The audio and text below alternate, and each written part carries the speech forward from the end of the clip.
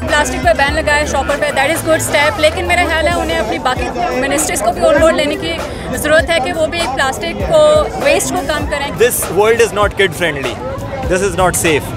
Individual action इतना change नहीं लेकर आ सकते पाकिस्तान की गवर्नमेंट भी जाकर कुछ करे ना मैक्रो स्केल पे भी वो भी इतना चेंज नहीं लेकर आ सकती बड़ा चेंज तब आएगा कि जब जाकर on a global scale everyone recognises nature जो सबसे बड़ा करने का, हम उसी को डिस्ट्रॉय कर रहे हैं। तो यहाँ जमा होने का मकसद यही है कि हम अपनी अपनी कैपेसिटी में लोगों को ये रियलाइज़ कराएँ कि हम कैसे क्लाइमेट चेंज के इफेक्ट्स को काउंटर कर सकते हैं। माहौलियाती आलूदगी इस कदर बढ़ चुकी है कि लोगों का सांस लेना मुश्किल है। अब जब सांस ही लेना मुश्किल है, लोगों का जीना जब मुश्किल हो रहा है तो फिर कैसे ना निकले इस मार्च में? इस मार्च में ज़रूर निकलना बहुत ज़रूरी है।